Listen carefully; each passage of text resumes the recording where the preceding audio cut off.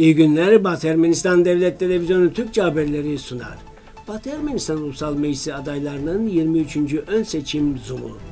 Batı Ermenistan'ın evlatları Abraham Barnıçyan. Batı Ermenistan Ermenileri sorunu üzerine Dersim Hay platformunun açıklaması Ahalkalak'ın kaybolan köyler arasında Artsak'ta soykırım Abluka'nın zorluklarını aşan Stepanakert Devlet Dram Tiyatrosu yeni bir performansa hazırlanıyor. Batı Ermenistan Ulusal Meclisi Seçim Komisyonu sizi Aralık ayında gerçekleşecek olan parlamento seçimleri için seçim kampanyası çerçevesinde Fransızca olarak düzenlenen 23. Zoom toplantısına davet ediyor. Zoom toplantısı 17 Ağustos'ta Fransa saatiyle 20'de, Yerevan saatiyle 22'de gerçekleşecek. Toplantının konusu Batı Ermenistan ve Birleşmiş Milletler. Konuşmacı Batı Ermenistan Cumhuriyeti Dışişleri Bakanı Lidya Margosyan. Aşağıdaki bağlantıdan Zoom toplantısına katılabilirsiniz. Abraham Barnıçyan 12 Mayıs 1993 tarihinde Aragazodun belgesinin Ardeni köyünde doğdu. Ardeni'deki bir nolu ortaokulda okudu, mükemmel notlarla mezun oldu. 2010 yılında Yerevan Devlet Üniversitesi Bilişim ve Uygulamalı Matematik Fakültesine kabul edildi.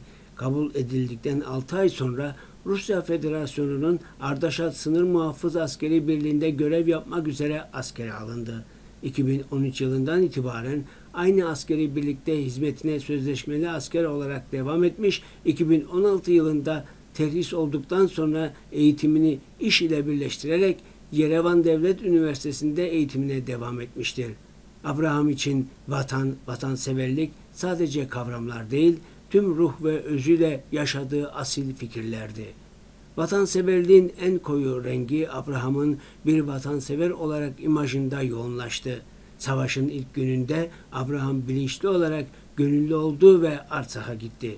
Kardeşi şöyle anlatıyor. Telefon ettiğinde bir kereden düşman saldırmış, savaş başlamış ve ben savaşa gidiyorum. Abraham gönüllü olup ayrılmadan önce şunları söyledi. Gidiyorum ama gelmeyeceğinizi sanmayın siz de bize katılacaksınız. Bu bilinçli bir adımdı. Varangatag'da sıcak tartışmalar yaşandı. Abraham ölümü görmezden gelen cesareti özverili mücadelesiyle öne çıktı. 44 gün süren Arsa Savaşı'nın 10. gününde 6 Ekim'de gönüllü Abraham Barnıçyan düşmanın eline geçen Varangata Lulasaz adlı tepeye saldırırken kahramanca şehit düştü. Almanların Berlin-Bağdat demiryolunu inşa etme ve Ermenileri Mezopotamya'ya sürme planı. Almanya 19. yüzyılın sonlarında ve 20. yüzyılın başlarında bu demiryolunun yapımını ve işletmesini Osmanlı İmparatorluğu üzerinden devralarak Osmanlı İmparatorluğu üzerinde kontrol sağlamaya, İngiltere'nin Hindistan ve Mısır'daki konumunu baltalamaya ve Rusya'nın Kafkasya'daki konumunu zayıflatmaya çalıştı. Almanya ayrıca Bağdat Demiryolu'nun inşası meselesini Batı Ermenistan'daki ekonomik ve askeri politik planlarıyla ilişkilendirdi.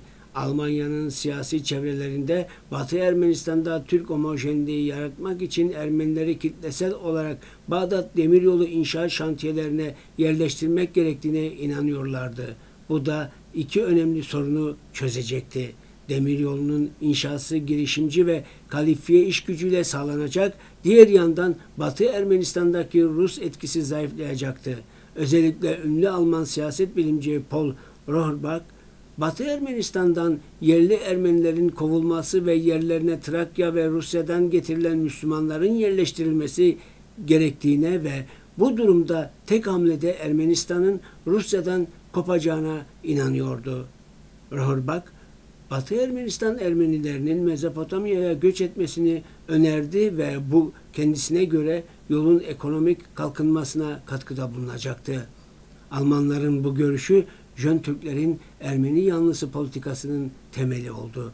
Jön Türklerin Batı Ermenistan Ermenileri sorununu soykırım yoluyla çözme kararı nihayet 1910'ların başında İttihat ve Terakki Merkez Komitesi'nin bir dizi gizli toplantısı ve istişaresi sırasında kabul edildi.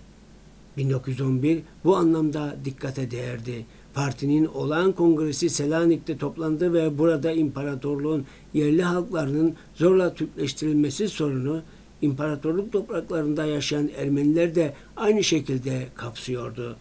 O kongrede alınan kararlar Jön Türklerin planladıkları siyasetin resmi belgesi haline geldi.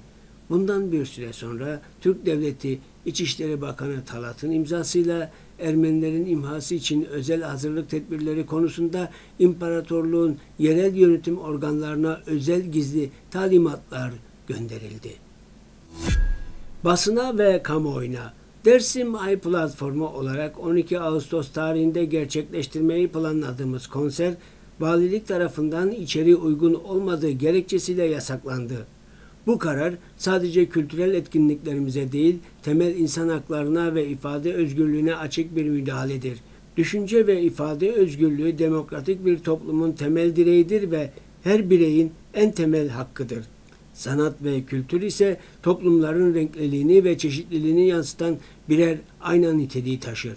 Bu bağlamda kültürel etkinliklerin engellenmesi demokratik değerlere karşı yapılmış ciddi bir saldırı olarak kabul edilmelidir.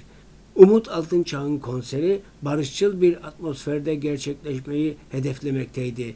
Müziğin birleştirici gücü sayesinde insanları bir araya getirerek farklı düşünce ve bakış açılarını anlama fırsatını sağlayacaktı. Ancak yasak kararı bu olumlu hedefleri göz ardı ederek toplumsal birliği zayıflatan ve farklılıkları öne çıkaran bir adım olarak algılanmalıdır.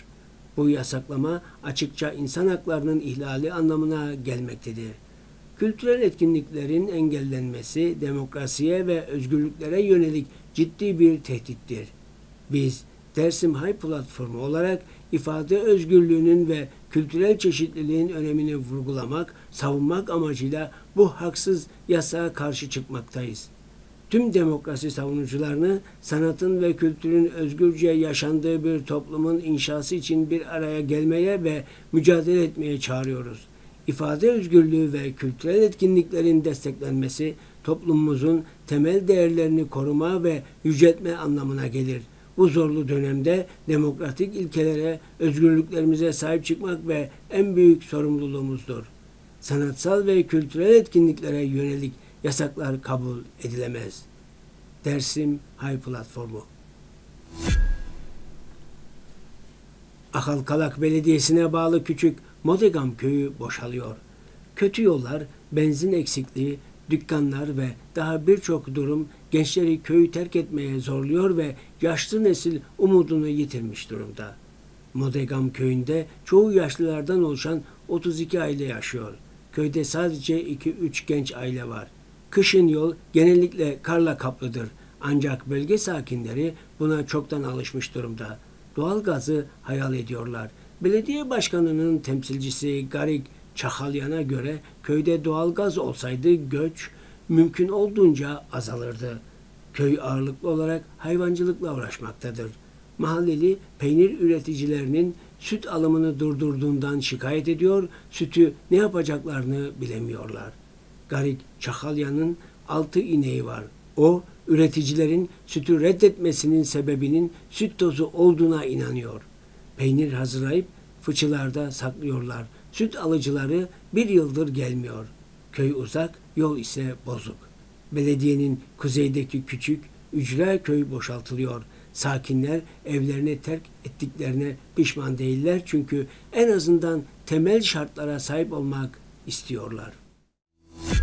Artsakh, yerli Ermeni nüfusunun binlerce yıldır yaşadığı bir bölgedir. Artsakh, uluslararası kamu hukuku açısından 1920'de 30'dan fazla ülke tarafından tanınan ve bugün bu tanıma sahip Ermenistan devletinin bir eyaletidir.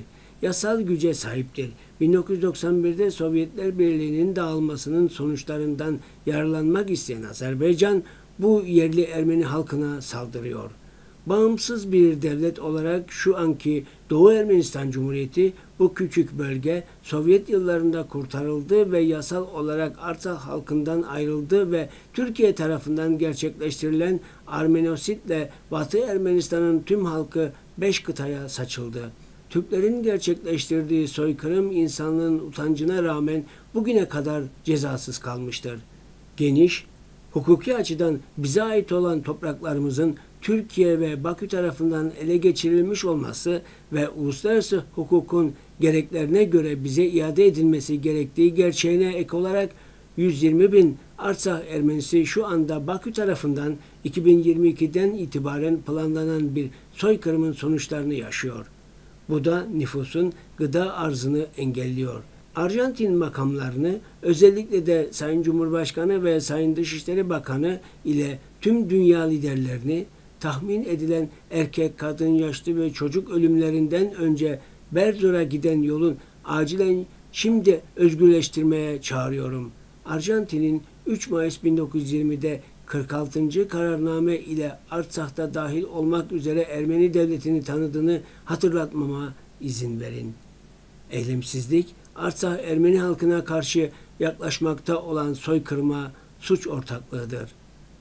Doktor Guillermo Karamanyan, Batı Ermenistan Cumhuriyeti'nin Arjantin Cumhuriyeti'ndeki başkonsolosu. Vahran Papazyan adlı Stepanakert Devlet Dram Tiyatrosu yöneticisi Kaçik Harutunyan yaptığı açıklamada Vahran Papazyan adlı Stepanakert Devlet Dram Tiyatrosu Fransız Ermeni yazar Vaçe Kaçan'ın Yırtıcı Hayvanların Ziyafeti adlı romanından uyarlanan yeni bir oyun hazırlıyor.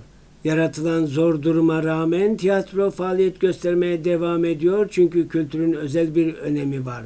Özellikle de içinde bulunduğumuz bu kadar zor durumda. Prodüksiyonu bu ayın sonuna kadar izleyicilerle buluşturabilmemiz için elektrik kesintileri etrafında provalar yapmalıyız. Arsa hareketi sırasında halkımızın varoluşsal bir sorunla karşı karşıya kaldığı dönemde tiyatromuzda yırtıcı hayvanların ziyafeti de sahnelendi. Yeni bir versiyonda yeniden sunma seçimi tesadüfi değil. Çünkü kuşatma altındaki Artsakh vatandaşları çok mücadele ediyor ve kendi onurunun zirvesinde kalarak zor bir durumda bir seçim yapmak zorundalar. Bugün için bu kadarını öngördük. Şimdi size Manik Grigoryan ve Vahan Şahinyan tarafından seslendirilen Ermeni halk şarkısı Mer Takvor'in İnç Gubbider adlı eseri sunuyoruz.